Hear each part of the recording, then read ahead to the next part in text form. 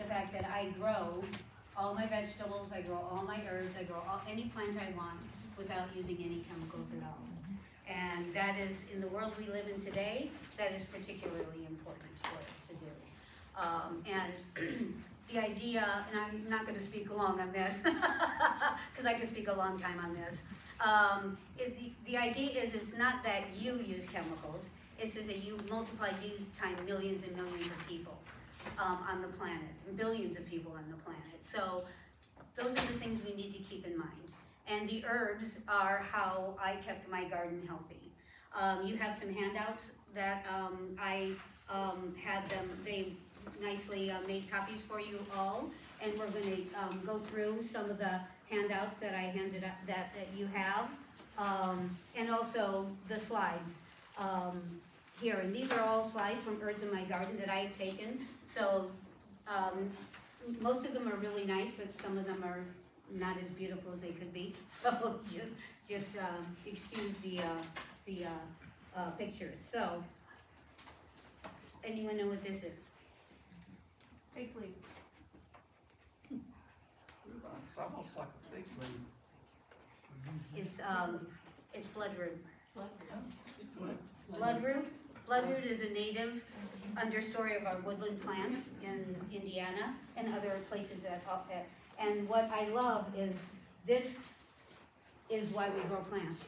When we look at the plants, we have a relationship with the plant. And this to me is like, this is my most beautiful picture that I've ever taken with the sunlight coming through this. And they are up now, they're about this tall. They are a spring ephemeral. The bloom can sometimes last only one day. So you have to be always on the lookout to see when they're blooming. It's been wetter and cooler, so the blossoms have stayed. This is now the third day, which is amazing to have blossoms on the bloodroot. But it's an important um, native um, medicinal plant. Um, a lot of our woodlands, where I grow, I live on 27 and a half acres in Putnam County, and where I live, they had cows um, in the woods and on the um, pastures. And so the cows destroyed all the understory. And what we all know is that there is an overstory, a midstory, and an understory, and they're all equally important in a woodland. And it has just been in the last five years, and we moved there in 1987.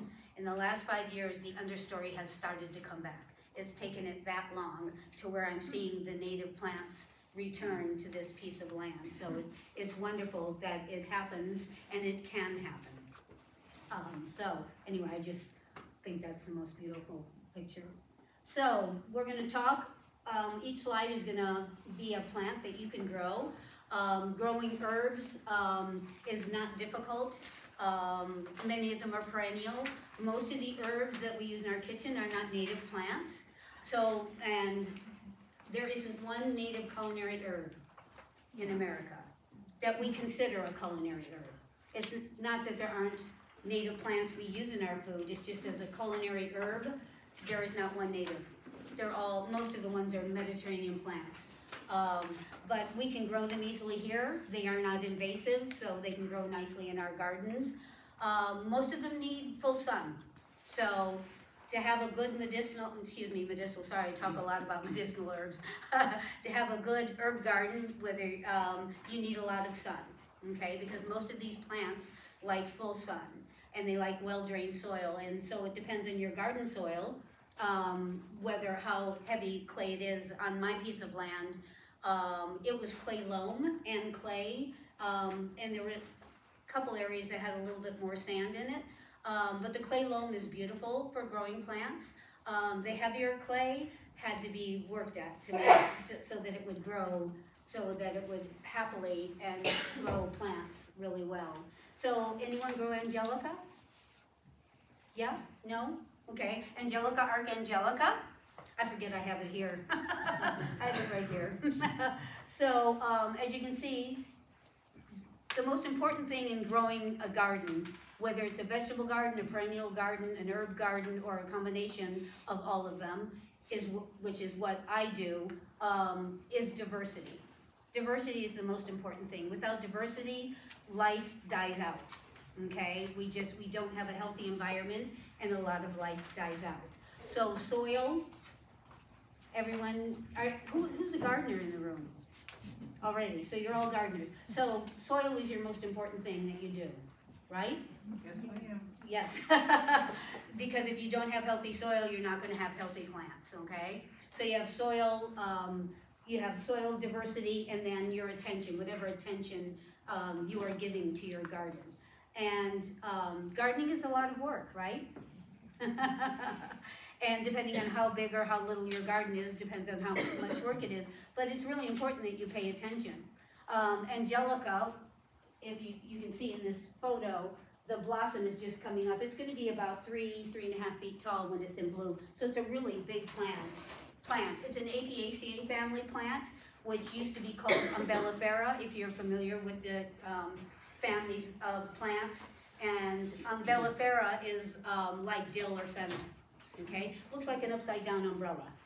So every 15, 20 years, maybe even 10 years, 10, 15 years, botanists around the world get together and decide what, you know, new plants, what family they're going to go in. And about 15 years ago, 20 years ago maybe, it's, you know, it's hard to keep track of time sometimes. Um, it, um, they got together and changed the families. And, and so when, whatever family of plant you have, because this goes to diversity. So we all have, let's say you have sage and you have thyme and you have lavender and you have basil, okay? Um, they're all in the same family. So when plants are in the same family, the importance of knowing um, a family of plants is that plants in the same family um, get the same diseases and they usually have the same pests. So you can, it can look diverse with all the plants I just mentioned. It can look diverse, but it is not diverse because they're all in the same family. And being in the same family means they have a similar flower structure. The flower structure, that's how they're put into families.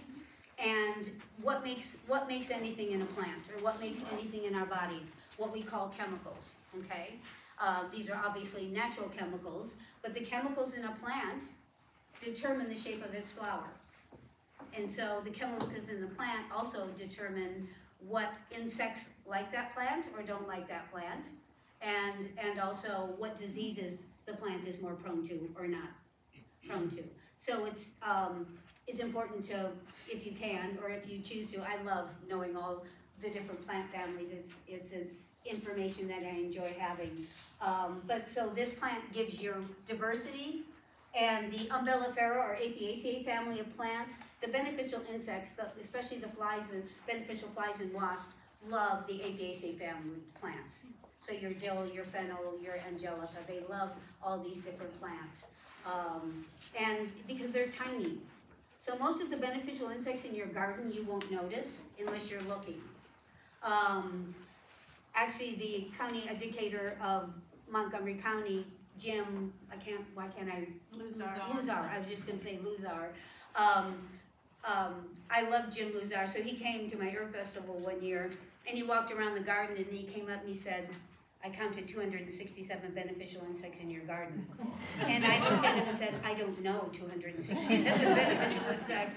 I knew I had a lot, but I don't know them. I don't know all the beneficials. And I don't need to know. When I have a diverse garden and I have good soil and I don't have the chemicals which are killing the beneficial insects, then, then I'm going to have a healthy garden.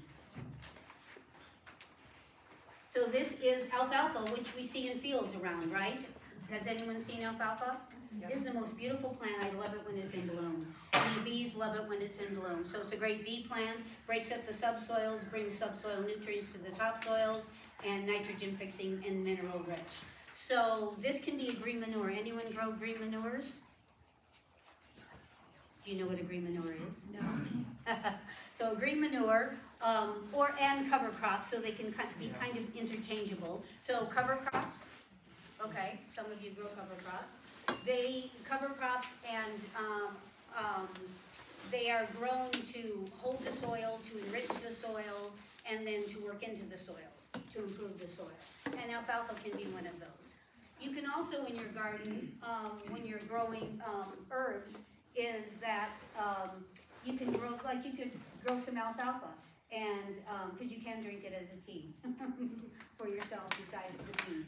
Um, you can grow, depending on how big your garden is, you can grow some herbs like alfalfa to improve the soil, like in a row. You do interplanting, so you grow a row of alfalfa, then you grow a row of tomatoes, then you grow a row of cabbage, then you grow a row of peppers, and then you grow a row of um, basil. So you can interplant that way, um, depending on how big your garden is. If it's just a square foot garden, then you're, you're gonna have one plant here of alfalfa, and then maybe one big sage plant in the middle, and a couple tomato plants, and, and do it that way. So it doesn't really matter how big or small you are, you can still have some diversity in your garden.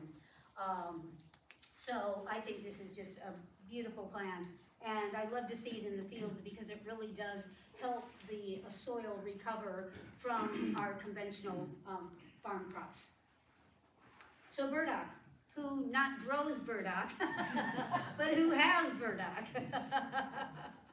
So I love this plant, and it's not in flower right now, that's just in leaf. Um, this is, um, um, a horseradish here, so that's just a burdock plant next to it. Um, and burdock is a non-native, it has a designation of a non-native invasive species, okay? So I could give you a whole talk on invasive species and make you love them, which is what I want to do, I want you to love them. Um, but burdock can be invasive, so if you have a little bit of land, you have to, you know, be careful of it. You have to cut it back and make sure that it doesn't send seeds everywhere. The birds love the seeds, okay? Um, it has a root that can go thirty feet down if it's an old enough plant. It is a biennial. Everyone know what a biennial is? Yes? Every Okay. two years, What? every two years. It means that the first year it does this, I'm, so- there's a cord here I'm watching out for. First year it does this, this dies back, the root lives. Second year, it grows this, and then it takes its leaves up its flowering stem, forms seed, drops seed. So it doesn't, um, live through its root, it lives through its seed. And it does take it two years, although on some plants, if you keep cutting them back and not allowing them to do what they want to do, which is to flower and seed, plants are going, I'm trying to flower and seed, and you keep cutting me off. and um, if you, some biennials, if you keep cutting them, they will be, they will act like perennials. Okay? So if you have a biennial you love, you might try. See if you can get it to live longer that way. I have a question. Yes. So that burdock root, you just let it grow? You don't pick it or do anything else with it? Well, I do. As an herbalist, I do. I dig the roots and use the roots as, as herbal medicine. So I use that. But in Japan, gobo, anyone ever have gobo? Gobo is a cultivated burdock root. In Japan, they grow it in their gardens. They go, you know, the Japanese do everything like perfect, right? I mean, mm-hmm. everything is like perfect. So their burdock roots are like this long, okay? And they're perfectly an inch and a half around from top to bottom. Now, when you dig a wild burdock root, you're not going to find that. These are cultivated burdock. But it's a really good food. It's a really good food for us. It feeds our microbiome. Everyone knows a microbiome by now, right? so it feeds your microbiome. So think of it that way. So you can use it as a food crop. So if you see it in your yard, like with your grass, should you just, It dep- it depends. I, probably if it were, if I had a yard and it were in the middle, I might not like that spot for it. So I might wait till it seeds and take the seeds and put them somewhere else. It's a big plant. And if you're, if you're happy with it there, leave it there. But if you would like it somewhere else, the best idea is when they're really small, dig them and transplant them. But the best is just to save some seed and drop some seed where you would like it to grow. It is being such a big plant and being a weed, because everyone's gonna ask you why you have that weed. Everyone will ask you why you have that weed. Um, then you might put it in a corner or along a fence or, you know, somewhere else where it can be its big, bold, beautiful self and not interfere with mowing.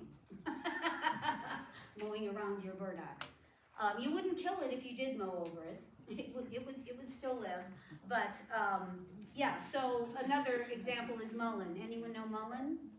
Okay, grows along the roadsides. It is considered a non-native invasive species. It is not invasive. It is non-native. It is a wonderful, beautiful medicinal plant. And I remember when it first came to my garden, because some plants just come, right? Everyone has that experience. It's like, you'll think, gee, I'd like to have mullein. And then next year, it's like, oh, there's mullein in my garden. And, um, so anyway, so, um, I remember someone walking in, and this was a big, beautiful mullein plant. I wish I had a picture of it. It was like this big around. And it wasn't in bloom, but it was leaved, and the leaves of mullein are really beautiful. And, um, someone walked in the garden and said, why do you have this weed in your garden? And it, to me, it's like, what weed? because to me, it's a very useful, wonderful plant. And weed, as we all know, is just a plant we do not want. That's all it is, okay? And so I, I love the weeds. I work with the weeds a lot. So we know what this is sweet basil. Who grows basil? Okay? Do you grow it with your tomatoes? Yes? And why do you grow it with your tomatoes? keeps the hornworms away, absolutely. So when you have those hornworms, those big hornworms that like can eat half a big tomato in one day, right? You have these big hornworms and you know that the little white things on their back are their eggs, right? No, they're not their eggs, they're the eggs of parasitic They're the wasp. eggs of the parasites, that's what I meant, they're the eggs of the parasitic wasp, so that it, they, the, the pupa of the, that hatch from the eggs eat the hornworms. So keep the one with the little parasitic wasp eggs on it. Um, the other ones, if you have chickens. What? Chickens love them. Oh, they do, they do. I found one out in the wild though, that was twice as big as my thumb. It was like the biggest hornworm I had ever seen. Um, and I saw it driving, so you know how big it was. I could actually see it, and I stopped and I went over, and there it was. So anyway, so it was a pretty big. Um, but basil is, as you see, improves flavor and growth of your tomatoes, and it really does. I have never had pests in my tomatoes or diseases in my tomatoes. Except one year, I don't know why, I didn't grow enough basil with my tomatoes, because like I said, I used to grow and sell organic vegetables, so I grew a lot of tomatoes, so um, I had to have a lot of basil, for some reason I didn't, and it was the only year that I had a problem with my tomatoes. Um, so, um, basil, besides being, you know, a wonderful plant, we like to use it, is, a wonderful plant in the garden. And it is an annual, so you can inter, you can intersperse it with your tomatoes, or grow them row to row, you know, if you like a lot of basil and a lot of tomatoes, yes. Does purple basil have the same benefits? Yes, Okay. yeah. They're all Ocimum basilicum, which is its genus and species, Ocimum basilicum, and then they will, then they will have like cinnamon. I love cinnamon basil. That is just like heavenly. um, so any of the basils you can use. Um, what I would say is that um, cinnamon, um, you need to keep your basils in leaf for them to have the most effect at repelling disease and insects. Um, lemon basil um, seems to flower and go to seed much more quickly than some of the other basils might also. Um, but you can Thai basil, African, African blue basil is a wonderful basil that grows about four feet tall and it has this beautiful maroon coloration to the leaves and the stem. Um, and it's a tender perennial basil. It won't live here over the winter, but if you bring it in, you can get it easily to four years, many years. Yes, if we could turn off our phones. that would be nice. so, um, any, any, any variety of basil that you want to grow um, is, is good in the garden. So, calendula. Anyone grow calendula? Okay. Why do you grow calendula? Pretty. It, well, yes. it is beautiful. Um, it adds diversity. Um, the bees and the beneficial, some of the beneficial bees, the small little beneficial bees in, enjoy calendula. It is a beautiful, bright, happy, you know, makes you happy to look at it, right? Um, plant in there, and as you can see, it's rich in vitamin A and C, so it does help um, with the soil. Um, and it blooms all summer long. So, deadheading it, you can easily deadhead it. If you have annuals, just every day walk out. You just make it a habit. Walk out, deadhead, deadhead, deadhead. And pinch your basil back, because that sweet basil you were looking at, the minute the temperature gets to 80 degrees and it gets dry, it's going to want to flower. And that's what it wants to do. That's what it's supposed to do. So it's only doing what the plant is supposed to do. But we don't want it to do that. And remember, the most important thing is gardening is not benign. There's nothing benign about gardening. We are growing what we want to grow in the place we want to grow it, no matter what was growing there before. So it is not, it is not a benign thing. We are wanting to grow Mediterranean herbs in the middle of Indiana. And ones like lavender, or sometimes I, mm, no, sorry. I'm not going to, I'm not going to grow here. Um, so, so they sometimes take a little more care. Calendula is happy in any garden soil. Yes, So it says vitamin A, vitamin C, so is that you've taken that from like the, the leaves of the plant? and no, it's, it? it's the flowers, the actual ray Flowers, oh. Yeah, that's the part you're using. And they're very resinous, if you touch a calendula plant, it's, they're sticky with resin, and that's part of their, their medicine also. In like a tea or something, or I'm sorry? how do you use it? Yeah, yeah, tea, you can make an oil, I make calendula oil, yeah. Okay. Um, this is chickweed, so who has chickweed in their gardens right now? You Yes. mean- You mean against my will? No, so, so weed it, okay, take it out of your garden, and then eat it. Oh, no. Oh, oh, yes. Have you eaten it ever? No? Oh, it is so green and moist and luscious, and it just, I make, um, I make chickweed pesto. Um, I also, you know, and then I just make salads and add the chickweed. Um, I also tincture it fresh, so it's a wonderful herb, nutritious. It helps give us indications of whether the area is dry or moist, okay? Um, lots of minerals, and is a ruderal. So does anyone know what a ruderal is? A ruderal is that plant. So whether nature does it or man does it, sometimes the ground is laid bare. You know, a storm, we have flooding, um, the ground gets destroyed, and the plants that were there are no longer there, and you have bare ground. Okay, the plants that come in, what we call weeds, are the ones that are supposed to come in. Dandelion is one. They come in and they hold the soil, they send down their roots, they bring nutrients up from the subsoils, and they make, they keep the soil healthy until the plants that will grow there, and it will never be the same. Once a flood or something is washed out or man has taken all the plants out, it will never grow back exactly as it was. Okay? But these plants help us to get there, to have healthy soil again. And be able to grow the plants that we want to grow. And it's beautiful. Stellaria media. See, dandelion. so who grows dandelions? yes. Uh, um, dandelions are great. You can eat the flowers, you can eat the leaves, you can eat the roots. So it's a wonderfully edible plant. The leaves get kind of bitter when it's in flower, but it's a great beneficial insect plant also. Um, so it, it, again, like I said, it's a ruderal also. Um, and the roots, depending on how old the dandelion is, um, can help to break up soil also. So it's, it's doing its job. It is a good plant to have. And I was just having this conversation, um, and, um, I have never used chemicals and will never use chemicals and, and, and hope that eventually the world will be there also, is that, uh, someone was talking about, we all know Japanese bush honeysuckle, right? Okay, right, and this was a person with just their own piece of, you know, just a yard, and they had one. And it was like, well, how do you get rid of it? And so, um, and we, I, I teach in herbal studies, um, uh, I teach herbal studies, and so this was our class. And I went to fix lunch, and one of the other apprentices told this other apprentice, um, to, that if you can't keep it, you know, if it starts come growing back, right? You haven't dug it all out, um, or, or you just cut it back and it starts to grow again, to use Roundup.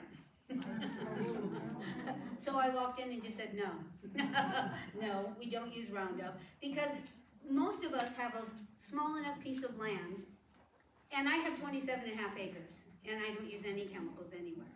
And if you cut your Japanese bush honeysuckle down or dig up the roots and it comes back, every day I just go out to that place, walk by that space with my pruners, and I cut it again, and I cut it again, and I cut it again. and eventually, if you keep up with it, it will not come back. So it takes time, it takes attention, and we have to really want to do this. Um, but it is possible to do. It is possible to do. I weed my dandelions out of my garden, and then I tincture the fresh root. I make oil out of the flowers, and I eat the green leaves, and I also dry the leaves. So I, I dig it up and then I use it. And what you can also do, and you have a handout about this, is the weeds that we've been talking about, any of them that you're gonna dig up, um, out of your garden, um, it doesn't matter what they are, just so long as they have no seed with them, so you don't want any seeds, is you're gonna throw them in a bucket, you're gonna fill it with water, so it's about loosely half to two-thirds full of weeds, fill it full of water, okay, let it sit for about two or three days, and then use that, cause we're making tea, we're making sun tea. And it's extracting all the nutrients it took out of your garden soil is being extracted back into that water. And then you can just feed your plants with that weed tea. Okay? You know, you can, uh, we visited a winery in South Dakota that makes Gameline wine. Yes, yes, you can, yeah, I could tell you a lot of things to do with it, but I, yeah, yeah. I usually teach for three hours, so you gotta go. Okay, so this was the picture I was talking about, that's a very sad echinacea flower, and I apologize for that sad specimen. And I don't know why I have that picture, but I do. Now, this is a nice picture of the, of a mature clump of uh, echinacea. What we grow here is Echinacea purpurea. So Echinacea purpurea is our purple cone flower, is the one that will grow in our soils here in the Midwest. Echinacea angustifolia, which is the most medicinally active, the one that we used to get if we were taking echinacea tincture or uh, making echinacea tea. Angustifolia is a prairie echinacea. There are nine species native to the United States. They all, Tennesseensis is another species. There's one just for Oklahoma. So they're species, but purpurea is a cultivated species. It is the one to grow here if you want to go purple, purple cone flower. It is the most floriferous of them all. It has the most flowers, blooms the longest, so it's beautiful. The seeds, the birds love the seeds. Um, so it's a really wonderful plant. It's a perennial. It self-sows itself.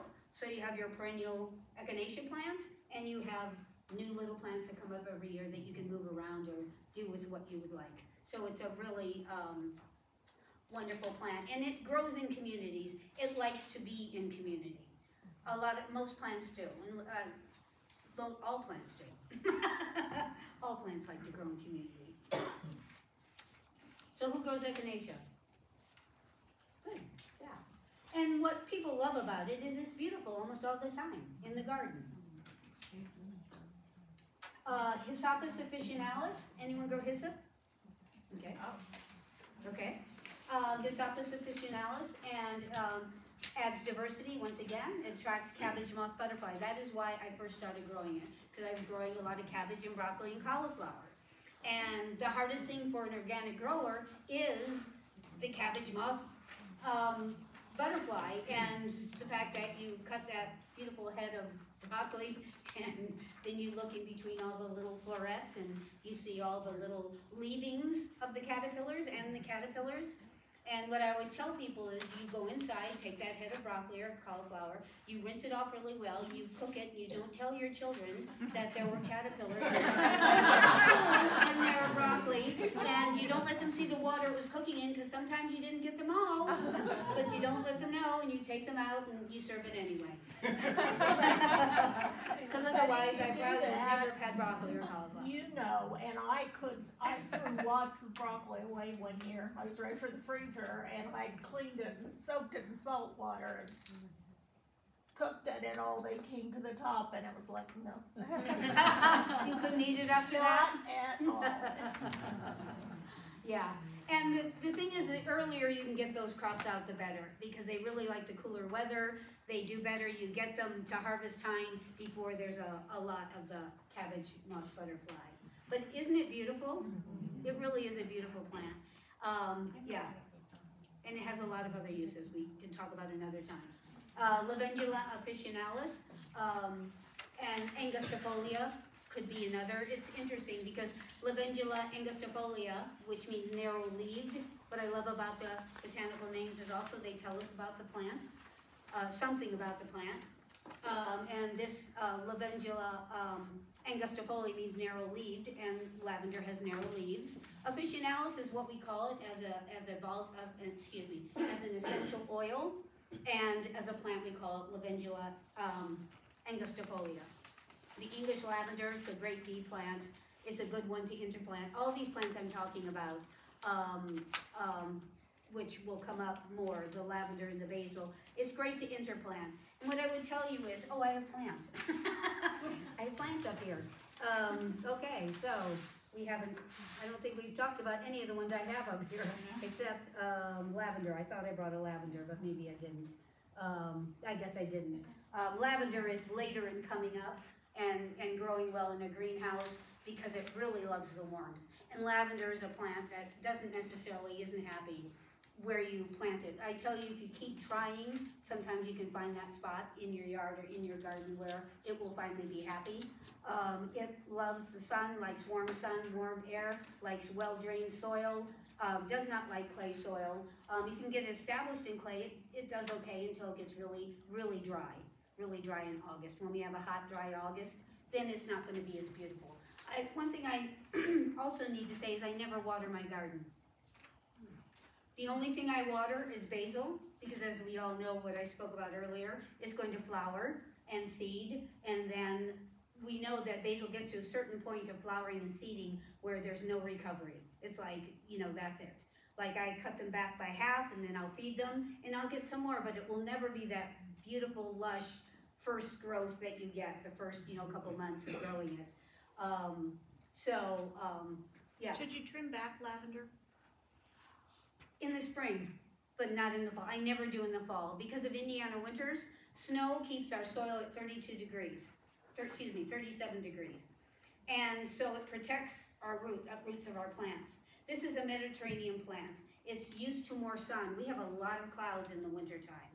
And we have clay soil that is either too wet or too dry through the wintertime. Okay? And so therefore lavender can struggle. Always mulch it. Even though it, it- you know, we know it as a plant that likes hot and dry, I always mulch my lavenders and they survive much better with the roots being mulched. And I never prune them in the, uh, prune them back in the, in the fall, um, always in the spring. Because whatever we have growing above on a perennial plant is, has some kind of, um, protection. It's some kind of protection, no matter how little, maybe only a degree or two, but that may be just what it needs to survive the winter. Lemon balm. See, I heard that, oh God. You hear that, oh God? This is a wonderful plant. And if you ever have any you are just pulling out, dig them up and bring them to me. I will take them all. It is an important medicinal herb. It is a great bee plant. It is a wonderful plant. And yes, it does seed. Okay? How I tell you not, so it's not seeding everywhere, is just cut it back before it flowers. Cut it back by half. And then it will regrow and it won't flower and seed. See, we all have opinions about plants. and um, the honeybees, obviously, they used to rub the inside of hives with lemon balm to attract the bees to new hives. Yeah. So find find your local beekeeper and say, I've got some lemon balm for you. Chamomile. Okay, this is a really wonderful um, plant. Um, Matricaria recutita. Um, we're going through this the other yesterday. I was going through this with my granddaughter, who's nine, and she was um, um, saying all the botanical names. She did a pretty good job. I was surprised at how well she did. um, but this is a wonderful self-seeding annual.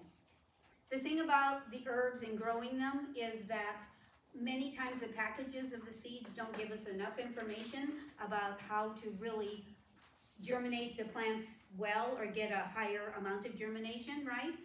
Um, chamomile is one of those. Uh, very few packages say it's a light determinant gen, um, um, germinator, a light determinant germinator, which means that it has to have light to germinate.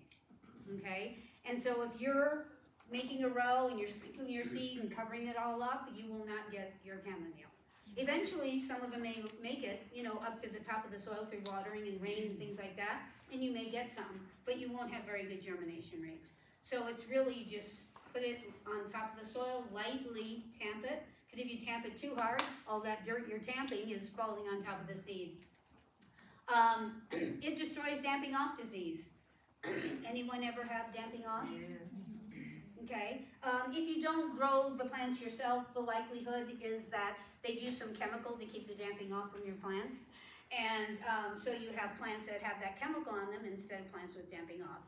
But German chamomile, you make a tea, you let it cool down, you dilute it by half with water, and you spray it on your plants, and you will see an immediate response. It is, I remember the first time I did it, it was like, here was this plant, you know, damping off, what happens is,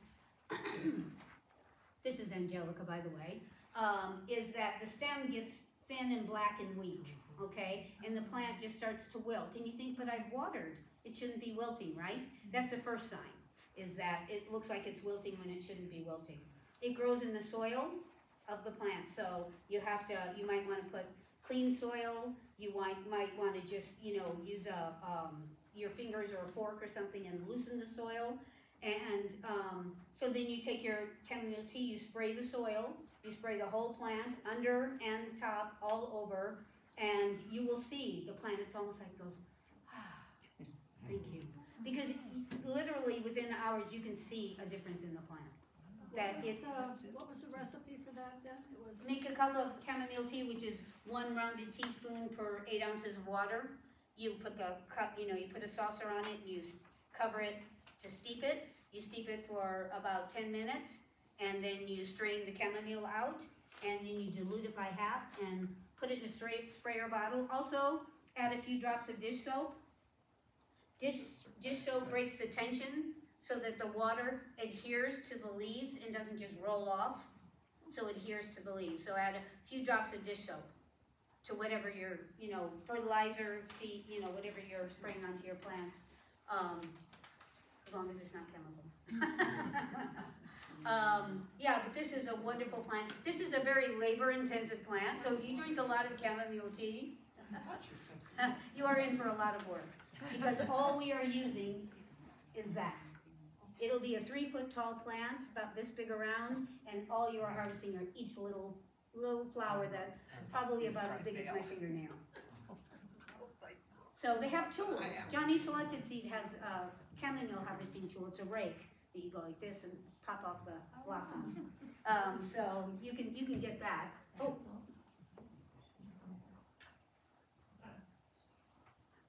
Something happened.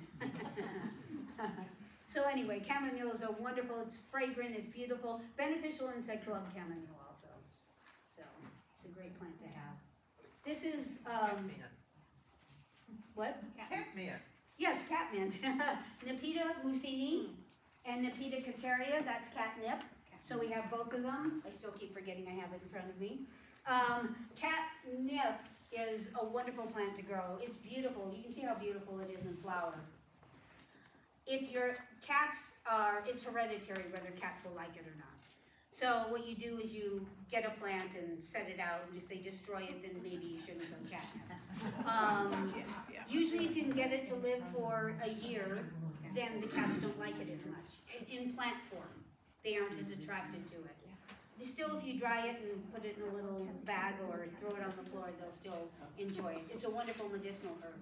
Um, it repels flea beetles, so this is why I first started growing it. I had potato growing, and it was a warm, early warm, and that's usually when you get flea beetles, is when it gets warm and dry earlier in the season. And so I just, what I did was just cut my catnip, and I laid it all along my potatoes plant, and, because it repels the flea beetles. Um, and the finches come and sit on the flowers when it's in seed, when the, when the flower, when it's formed seed, they will sit in your garden and, um, flit around your cat, catnip. Catmint, I just grow because I love it.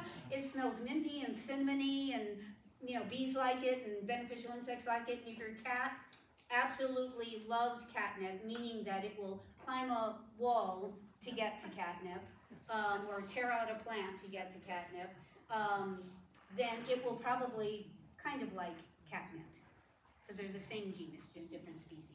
But they don't smell alike. There is, if you, if, okay, how you smell something is that you take a leaf and you rub it really hard in your hands, and then you go really deeply, and then you sit with it and see what you smell.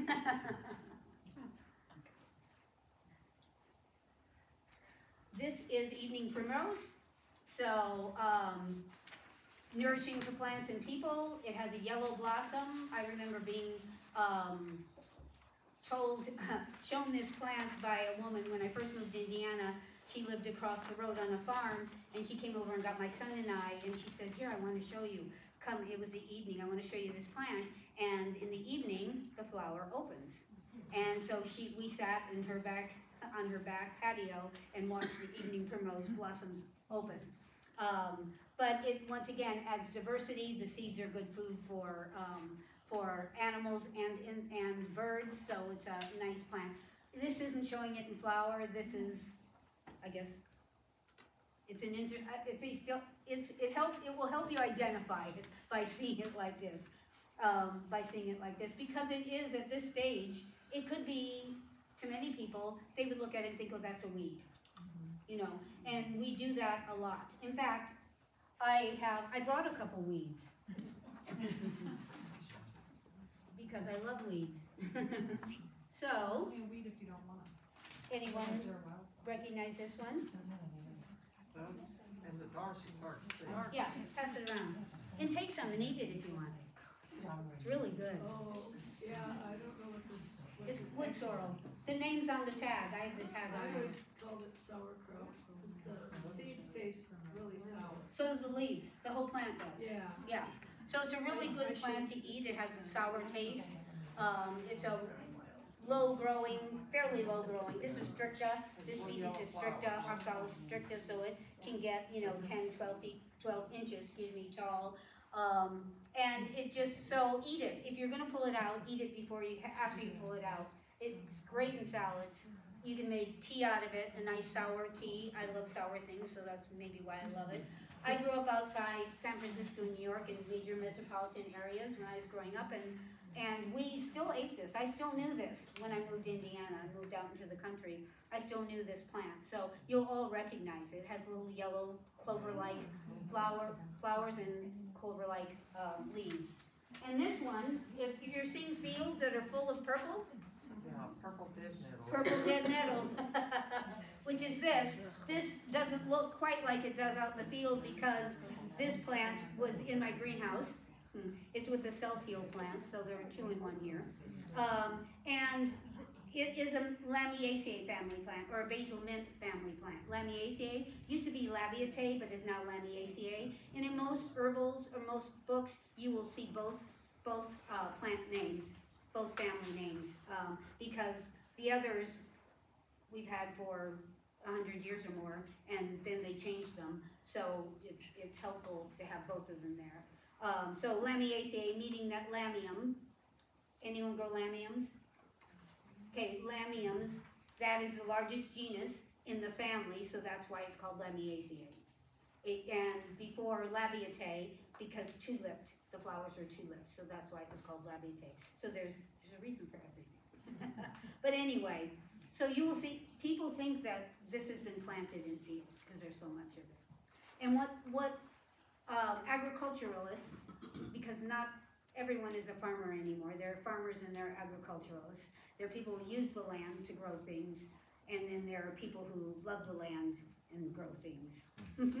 So, um, and, um, so chickweed and this, um, purple dead nettle, and it's, you, if I pass around, you can see the little flower, and see how it's two-lipped also, because it is a Lamiaceae family plant. They hold the soil and they keep it cold and damp. So in the spring, we want the soil to warm up, and we want it to loosen up, and we want it to, and we want it to dry out some, we don't want it to be really wet. And these two plants, because they grow in mass, um, keep the soil cold and wet. And so that's, so if it's in your garden, chickweed or this, you know, it's, that area of the garden is gonna be colder and moister. Um, take longer to dry and to, to warm up. Who has stinging nettle? Come on, raise those hands. Everyone needs stinging nettle, everybody. This is the most nutritious plant on the planet. The most nutritious plant on the planet. So if everyone was drinking nettle long infusion, which is a tea, just steep longer, um, every day, we would all be much healthier and happier. It is, it does sting. Um, when I'm harvesting my, cause I probably have a bed that's that wall to that wall, and, um, it came into my compost pile. Of course, because rich, lovely soil, so nettle goes, oh, just where I want to be. And it started to grow, and each year I'd walk by my compost pile and say, I need to move that nettle. I need to move the nettle. And cause it kept taking over and taking over. And then about the fifth year, I said, ah, I'll just make my compost pile somewhere else, because the nettle, I'm not gonna move all this nettle. So I have lots of nettle, and it's wonderful, wonderful. And it's another herb along with comfrey. Is comfrey next? No, but plantain you can use, um, but, how do I go back? Um, but this is another plant, if you have stinging nettle, that you can put in your bucket also and make fertilizer. Cause it, like I said, it's the most, has the most vitamins and minerals and the most nourishing plant there is. But it does sting. And urtica dioica, urticaria, hives. So externally it creates hives and internally it has an antihistaminic effect. So plantain, everyone has plantain, right? They actually think that there might be a species that is native to um, the United States, because plantain is not native. And you're, are we way over time? I have no idea. We have about ten minutes. Oh, great, okay. So plantain attracts beneficial insects. The seed heads, you know, the seed heads, don't you hate when you mow the lawn? And then within hours, those seed heads are right there and it's like, but I just mowed. And there they are.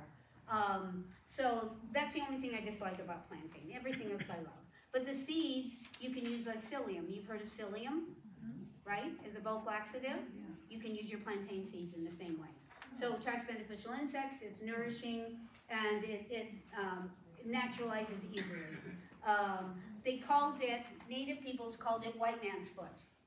Because wherever white man went, plantain was left behind. Also, plantain likes compressed soil. And so white man's foot, we compressed, you know, we were compressing the soil, making more compressed soil, and so plantain was like, oh, I am so happy. So happy. So Petroselinum crispum, parsley. So this is the flower here. There's the swallowtail, um, caterpillar. Um, you touch them and they're little. Um, uh, but they will eat a lot of parsley. so I always grow parsley for them and parsley for me. because they can eat, they, they're pretty voracious eaters. You want them there because they're the butterflies, they're beneficial, but you don't want, oh, your parsley eaten either. Did I forget anything? Mineral rich, yes. A lot of the herbs, all herbs, all plants have minerals, okay? But herbs seem to have higher amounts of minerals. And minerals like calcium, having trouble going to sleep instead of drinking a glass of milk, you have a, a cup of nettle tea. So it'll give you that calcium that relaxes our nervous system so that we can sleep and rest. Red clover, so red clover, we see lots of fields of red clover. Red clover is great for beneficials and bees. Um, in my garden, I have a main path through my garden, and I thought, oh, I'll just, I'll just grow white Dutch clover. You know, it only gets about four, you don't have to mow it. It blooms, it attracts the bees. so I had this path through my garden about four feet wide and, I don't know, fifty or however long it was, is, and, um, it was full of, of white Dutch clover, and the honey, it was full of honeybees. No one would go in the garden because of all the honeybees. They would, it, it, it, it was kind of like, well, that kind of defeats the purpose of having people come and walk through the garden. so eventually the grass came, you know, I just left it alone, kept mowing it, and yes, you have a story about white clover? No, red clover. Oh, red I clover. killed my yard, and it's all red clover, and my neighbors called the weed police on me. of course. Because she hated that I killed my ugly lawn, and now I have deer that come and lay in my red clover at night all summer long. Yeah.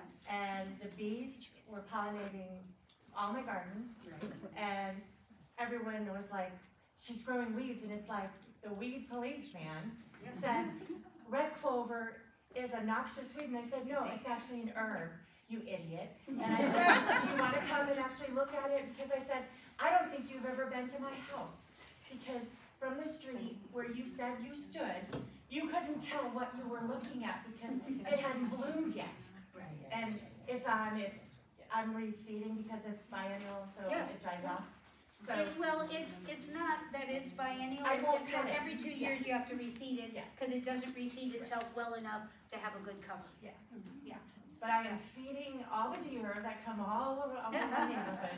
And the bees are so happy because Nice, my whole front yard is Yeah. full of clover. yes, yes, it's a good, it's a good thing, it gets a lot taller, And we don't mow anymore. Yes, it gets, it gets a lot taller, and that is some people's objection to using other plants instead of grass, is because you can't mow them and they'll look like grass looks like when it's mowed. And it's taller and some people, you know, just don't wanna walk through taller things, I guess. We, it's interesting because the reason we love grass, there is a reason humans love grass. So we walked out of Africa, however long ago we walked out of Africa, right? So grasslands, right? We lived in grasslands.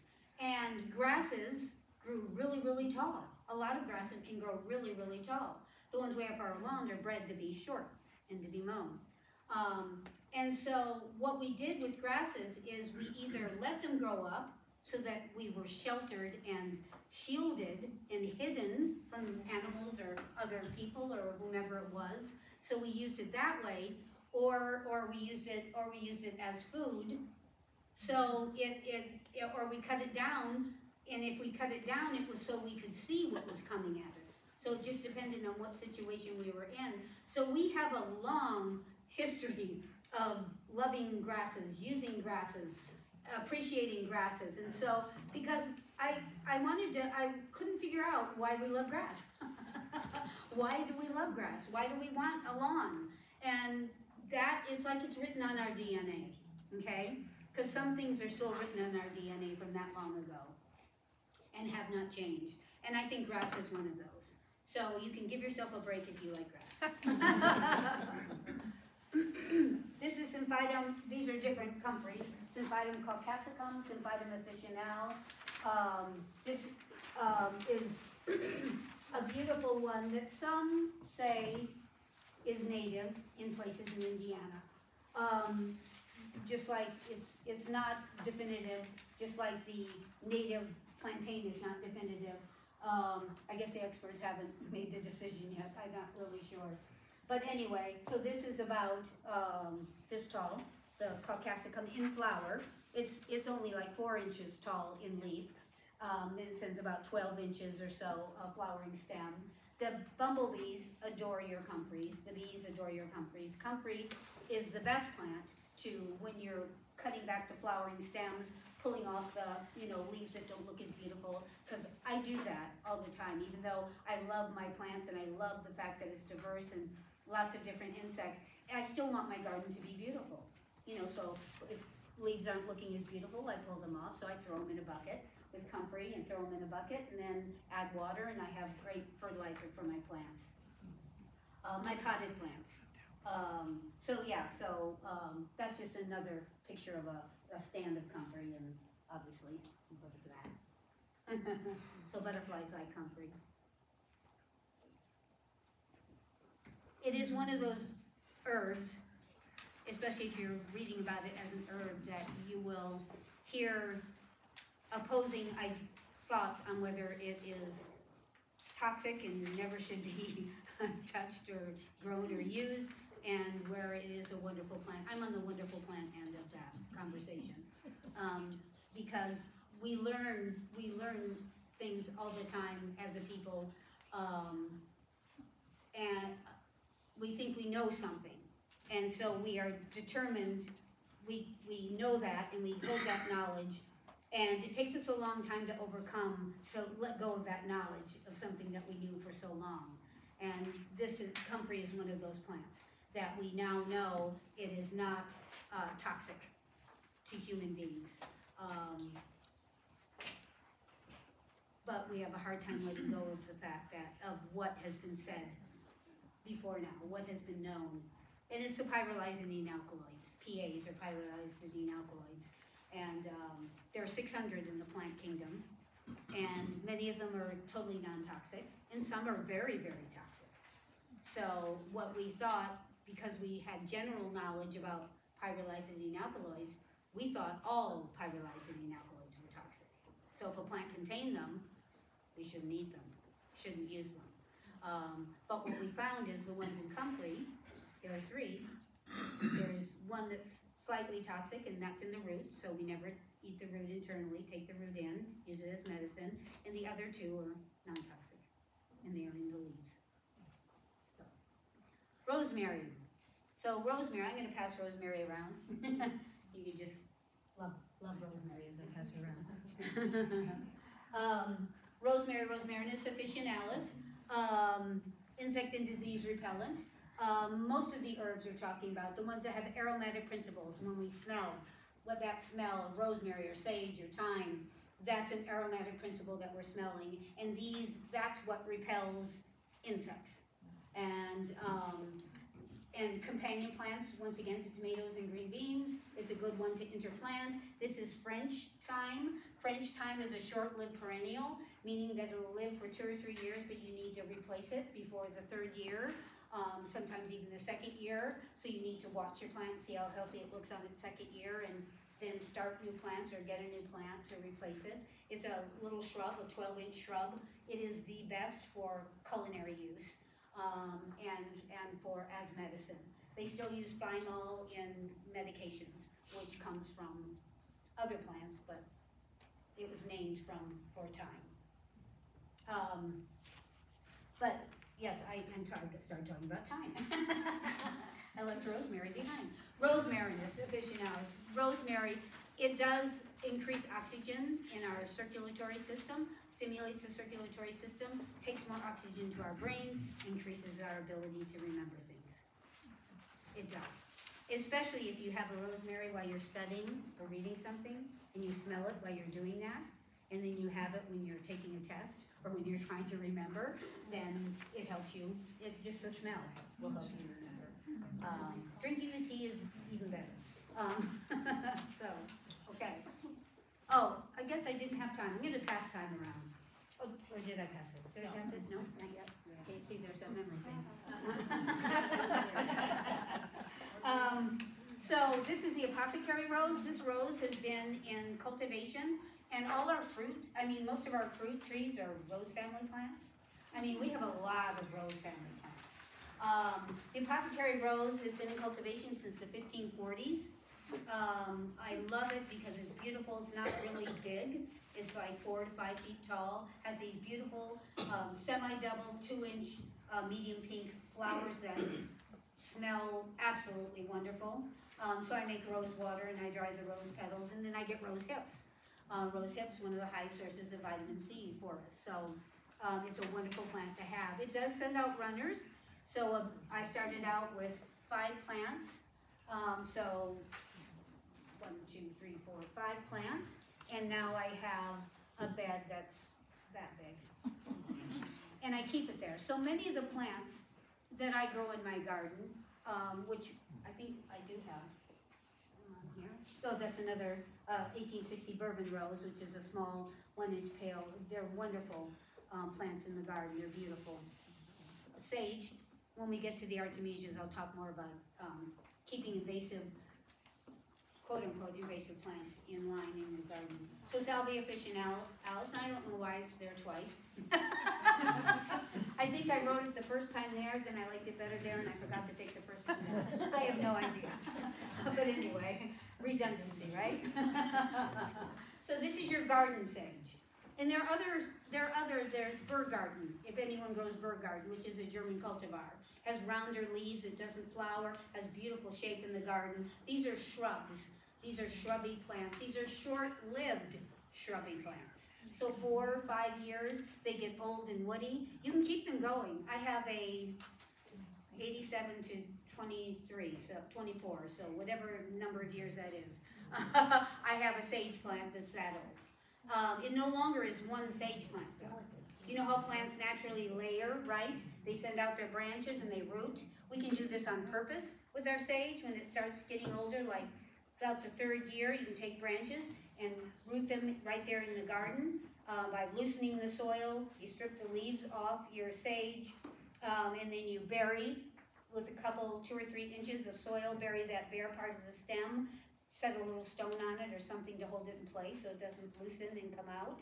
And then, uh, if you do that in June, by the fall, you can cut that plant from its mother plant and have a new sage plant. If you do it in the fall, by the next spring, you will have a new sage plant. So it's a way of propagating, easily propagating your own plants. And sage is a good one to do that with since it is a short-lived perennial. Um, but like I said, if you go out, like you'll have your sage plant here, and it starts getting old and woody, so every year, when in the spring, I go out and I pull out all the old dead woody places, okay? And then I mound the soil into the places that are still growing and looking beautiful. Um, and so instead of having one, I will then have, my first sage plant was like one, like three to four foot sage plant, and eventually it was like eight smaller sage plants. And those lived another years, and then, so I still have some of the original plants, but it's not the original plant, okay? Because they've layered themselves in the garden. But, um, so sage repels diseases throughout the garden, um, attracts beneficials when it's in flower. It flowers in May here in Indiana. Um, we all don't know what this spring will bring, whether things will bloom earlier or, or later. Um, and hope it's a better growing year than last year, right? last year things didn't thrive in the same way they have usually thrived. Let me quickly go through the other. So these are all the different thymes. Um, Thymus serpyllum, which is creeping mother of thyme. It's a really beautiful one, as you can see from the color of the flowers. But they are wonderful, beautiful plants. The bees and the beneficial uh, flies and wasps and bees love all the thymes um, when they're in flower. So they're wonderful plants to grow. And they like to grow in colonies too, communities. So the artemisias are wonderful plants. Um, so we have, um, here we have, what do we have? Um, we have, um, abrotanum, um, southernwood, um, southernwood, then we have tarragon, then we have white sage, we have mugwort, and we have sweet annie. Um, so we have all these, these are just some of the artemisias. Artemisias are good beneficial insect plants, they are good plants to add diversity, and they are beautiful ornamental plants that have many uses, um, in the garden, um, and in the home, and in, um, and as, um, medicine. Anyone grow artemisias? Yeah? That's it? Oh, by the way, I have to say this. It goes to my on-running theme of invasive plants. Is mugwort. Mugwort about, I don't know, seven, eight years ago, maybe even a little longer than that ago, became a non-native invasive species in, in Indiana. We have a group of people that get together, and I think part of it is Indiana Native Plant Wildlife Society. Um, I think they're a part of this, and they decide what plants are non-native, well, we know whether they're native or not, okay? But whether they're invasive or not. Where I, where I live now, we moved in nineteen eighty-seven, and coming along the railroad tracks south of where we live, there was a stand of mugwort. And, uh, so, and it's, so I, I noticed it, okay, and then I grow mugwort. It's a different species of mugwort, but it's still mugwort. And, um, I grow the mugwort, um, Artemisia vulgaris in my garden. And, um, this mugwort has been in the exact same spot since nineteen eighty-seven. Because remember I was talking about diseases and, and insects and plants keeping invasives, what we call invasives, contained, that's exactly what, there are all different plants growing around it. And it hasn't seed, it'll seed in my garden, it'll seed in my garden, and I just dig them up, pot them and sell them to you, or, which I, which I can no longer do, because it's a non-native invasive species. Um, so, I no longer do that, but if you want.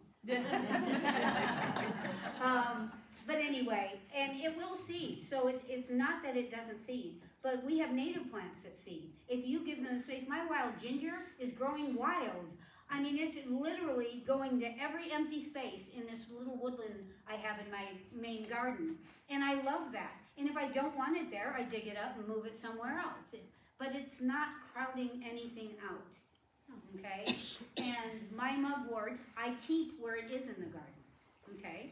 Um, it seeds, has little plants, and I keep it, you know, I'll take my shovel and cut, you know, the root, you know, around where I want it to stay, um, so that it's not spreading by root. So my point is, is that that mugwort is in the exact same place it was since nineteen eighty-seven. In my mind, that's not an invasive plant. Because if it were invasive, I'd be seeing it growing all along the roadsides, both sides of the roads. I'd see it in the bare spots in the neighbors, you know, their areas. I, you know, people would be complaining about it. You know, that damn mugwort? Came from over there. I think I've been accused of things like that. Um, But anyway, so obviously, it has been considered a non-native invasive species. I can continue to grow it. I can continue to make medicine out of it. I can continue to harvest it and dry it. I just can no longer sell it. Or give it away. You can't even give it away. So if anyone has mugwort, I will not dissuade you from giving it away, but tell you that you cannot legally give it away. Uh, Achillea and yarrows, I'm sure there's lots of yarrow being grown. Come on, people. Yes, yes. Yeah, yarrow is a great, this is our wild yarrow. This came in the sixteen hundreds as burdock did. Burdock came in the sixteen hundreds too. Wild yarrow came in the sixteen hundreds and is considered a naturalized native. Because it lives happily without, no one ever says, oh, the, well, people in gardens, I've heard people in gardens saying, that yarrow takes over everything. And I'm always like, you bring it to me.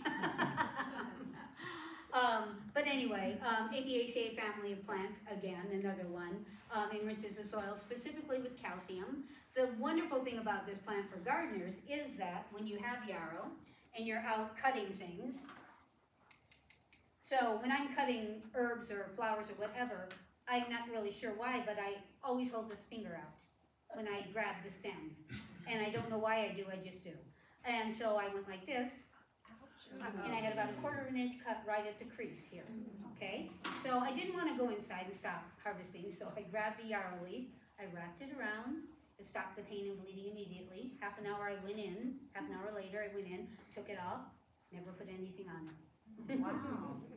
So yarrow is a wonderful plant for gardeners who, if you get scratched by the roses or whatever it is, or if you cut your finger like I did, um, you know, it's a wonderful plant. It's a, considered uh, um, a, and it's it's interesting because so many of what we call weeds are plants that came, we brought, people brought here because they were medicine, because they were useful plants, and they brought them here and with them, and um, and then we find that the native people have taken these European plants and they, for hundreds of years, they've been using them as medicine and as healing plants. So, a lot of what we think or is not necessarily what we know, it's what we've been told.